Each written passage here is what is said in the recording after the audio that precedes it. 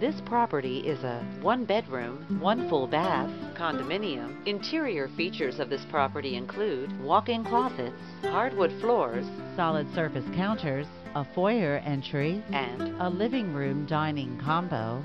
On the outside, this property features a city view and a deck.